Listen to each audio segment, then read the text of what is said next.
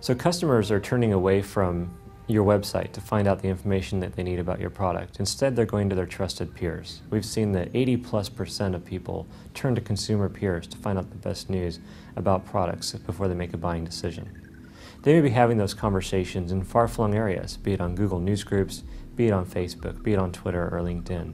One of the best things about social networks and the web in general is the ability to use search. You can search through news groups on Google, you can search through Twitter, you can even search on Facebook and find specific fan pages that are dedicated to industries and marketplace that are about you and your business. One of the best things about finding these areas is that's where your customers are hiding. So you can participate with your customers there and find out exactly what it is that they're discussing about your product and your industry to try and lend a helping hand. It's the responsibility today of companies to seek those out and start participating in such a way that they can find out that the customer gets a seat at the table in helping to define the next features of your own product so that you can grow with them and help be the answer that they need.